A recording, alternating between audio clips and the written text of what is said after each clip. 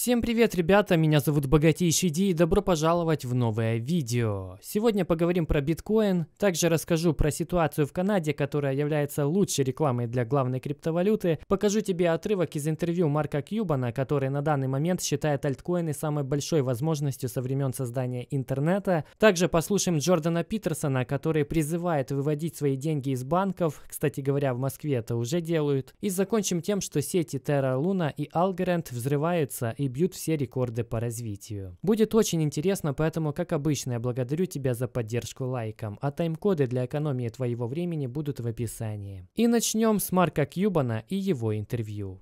Марк, что вы думаете насчет того, как рынки реагируют на эти события? Сейчас все очень обеспокоены Украиной и тем, как разрешится этот кризис. Останется ли этот кризис тем фактором, который будет формировать настроение инвесторов в ближайшем будущем? Рынки всегда реагируют чрезмерно на любые громкие новости, особенно после большого роста, потому что инвесторы хотят защитить свои прибыли. Так что люди выходят в кэш. Но реальность в том, что когда ставки повысят до 3-4%, найдется не так много хороших вариантов, куда можно будет вложить этот кэш. Собственно, в эти варианты люди и начнут заходить, когда будут возвращаться на рынки.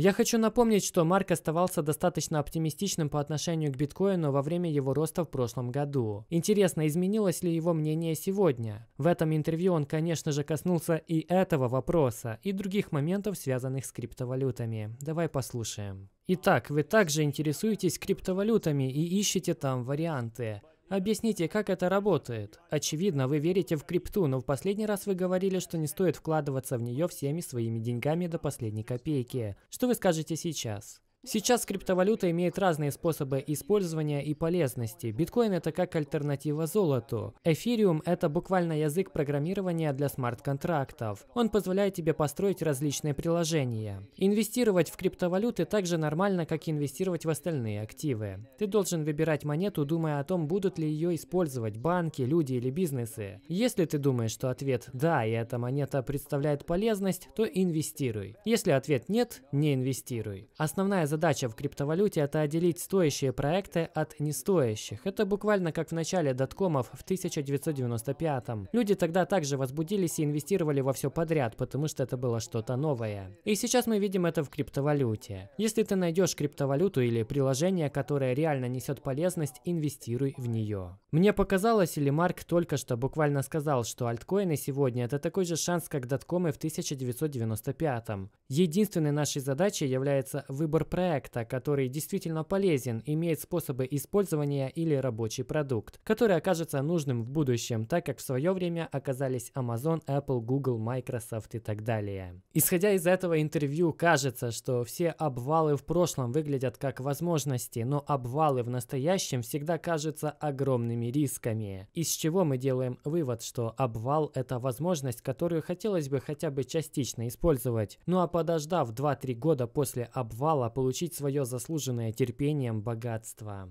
Ну а теперь я хочу перейти к ситуации в Канаде, которая буквально делает рекламу биткоину. Канадский психолог, писатель, автор информационных каналов Джордан Питерсон предупреждает, что прямо сейчас в Канаде происходит не что иное, как банковский кризис, который граничит с банковской паникой. То, что мы наблюдаем в Канаде, случается крайне редко. Ведь власти Канады начинают замораживать банковские счета участников протестов против известной болезни и ограничений с нею связанных. Это приводит к тому, что огромное количество людей бежит в банки, чтобы снять свои деньги. Давай послушаем Джордана Питерсона, прокомментируем его предупреждение, а затем посмотрим на один интересный график, который показывает, что банковская система Канады испытывает колоссальное давление. У меня был контакт с достоверным источником из канадских вооруженных сил, и он сказал мне сегодня, что если я в своем уме, то я должен вывести деньги из канадских банков, потому что ситуация намного хуже, чем нам сказали. И это только одно сообщение из многих, которые я получаю ежедневно. Давай вспомним, что сделал наш премьер-министр на прошлой неделе. Он практически уничтожил 20% веры канадцев в канадскую банковскую систему и запятнал репутацию Национального банка на десятки лет вперед. Entire Canadian banking system and stained the Canadian banking system's international reputation, I would say, for decades. Джордан получает информацию от элиты военного мира Канады о том, что гражданам стоит забирать деньги из банков прямо сейчас. И к чему привели такие действия правительства Канады? К тому, что 20% населения Канады полностью потеряли веру в банковскую систему. Напомню, что Канада пыталась заблокировать также и криптовалютные кошельки участников протестов, но у нее не получилось. Как по мне, это огромный сигнал для людей, чтобы они задумались и наконец осознали, что такое на самом деле биткоин. У меня есть знакомые в Москве, которые говорят, что в российской столице многие люди тоже начинают либо задумываться, либо уже обналичивать свои деньги из банков. Напиши, если ты из Москвы, правда ли это. Я много раз повторял, твои деньги не в безопасности, если ты хранишь их в централизованных криптовалютных биржах или тем более в банках. Их в любой момент могут заморозить, и мы уже видим это в Канаде и увидим в других странах в будущем. Просто посмотри, что происходит с канадскими банками. Scotia Bank, RBC, BMO, TD Canada Trust. Люди буквально побежали снимать свои деньги из этих банков. Посмотри, какие скачки, огромные просто. И биткоин – это ответ на это. Он был создан как раз поэтому. Также вспомним о новых законах, которые уже были предложены для банковской системы. Исходя из этих законов, банки во время нового финансового кризиса получат право замораживать депозиты вкладчиков для своих нужд, то есть собственного спасения. Твой депозит в банке не обеспечен полностью. Ведь если ты принес в банк 1000 долларов, то, грубо говоря, 900 долларов банк забирает в оборот. И будет хорошо, если твой депозит в итоге будет обеспечен хотя бы на 100 долларов. Если все побегут забирать деньги, это будет коллапс банков. И если сейчас просто ждать ждать и ничего не делать, можно однажды остаться без своих сбережений. Поэтому я не могу понять, почему в это время, в такое время, кто-то вообще задумывается о том, что можно продавать биткоин, кто-то вообще его продает. Ведь только биткоин может стать альтернативой этому беспределу. Ну хотя бы физическое золото или серебро на крайний случай тоже должно быть у тебя.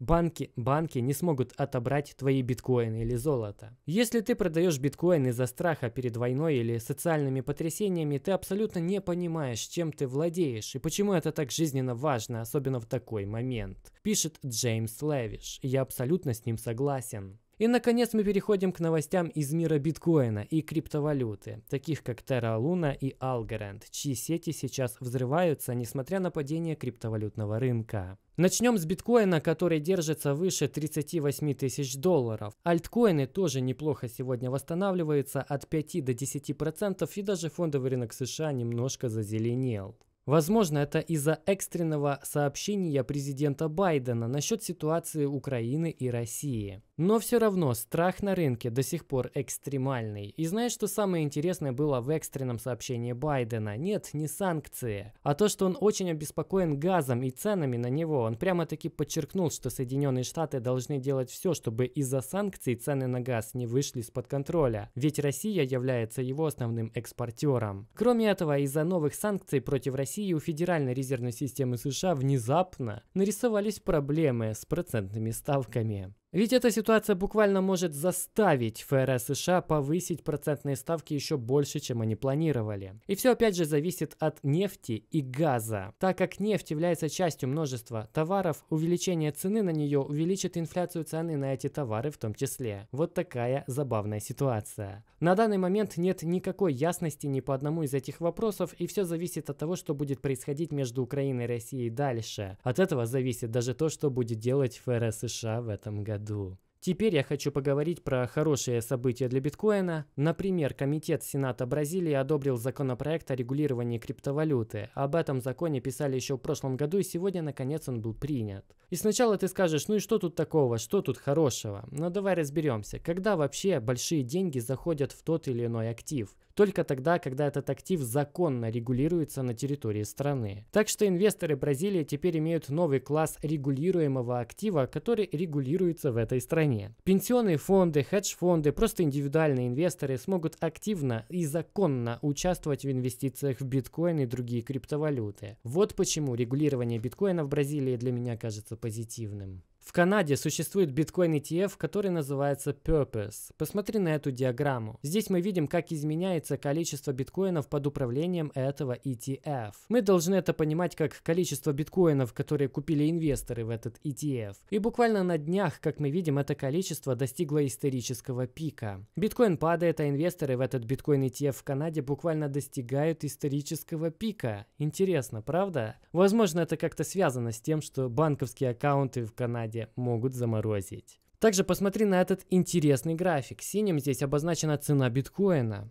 И как мы видим, на протяжении 6 лет существует один массивный тренд, от которого цена биткоина постоянно отскакивает. Он обозначен этой красно-розовой линией. Только однажды цена биткоина провалилась ниже него из-за коронавируса в марте 2020, но затем этот трендлайн снова стал поддержкой. И прямо сейчас мы находимся прямо на нем. Очень опасная ситуация. Я думаю, что может случиться что-то вроде марта 2020, а затем цена биткоина все равно восстановится и будет оставаться выше этого трендлайна. Далее очень интересные события произошли с компанией Puma, которую ты наверняка знаешь. Она поменяла свое имя на Puma ETH то есть эфириум, в Твиттере. Сделали они это после покупки децентрализованного URL-адреса и при этом запустили собственный токен NFT. Как мы видим, еще один бренд заходит в NFT метавселенную. Кажется, компания начинает прощупывать этот новый тренд. А значит, он все еще очень ранний поэтому нельзя его игнорировать. Это все равно, что инвестировать в компании, которые производят смартфоны до того, как эти смартфоны распространились по всему миру. А теперь я хочу поговорить про Terra Luna и Algorand. Terra Luna с каких-то пор стала одной из моих любимых криптовалют, но Algorand я сейчас даже не держу. Тем не менее, обе эти сети показывают какой-то нереальный рост. Давай начнем с Terra Luna, а потом закончим Algorand. Terra имеет свой собственный стейблкоин Terra USD или же UST. Так вот, ранее этот токен не был ничем обеспечен, кроме как самой Terra, и поэтому они решили сделать ход конем и привлекли целый миллиард долларов для обеспечения своего стейблкоина биткоина. Потом они перевели этот миллиард долларов в биткоин, и это то, что начинает частично обеспечивать стейблкоин Terra USD. В отличие от USDT, который централизован даже на этапе обеспечения долларами своих стейблкоинов, Terra делает по-настоящему децентрализованный стейблкоин, который будет обеспечен не долларом США, а биткоином. Это по-настоящему смелый шаг. Мы видим, как Terra намечает новый тренд. Стейблкоины будут потихоньку уходить от доллара, искать способы заменить доллар и от отказаться от доллара. Все по канону биткоина. Но это еще не конец для Terra Luna. Дело в том, что с каждым выпуском стейблкоина Terra USD происходит сжигание токенов Луны. Посмотри на этот график. С ноября 2021 мы наблюдаем уверенное сокращение предложения Terra Luna. Также, если мы посмотрим по датам за последний месяц, то увидим, что за февраль этого года предложение Terra Luna практически уменьшилось на 5 миллионов монет.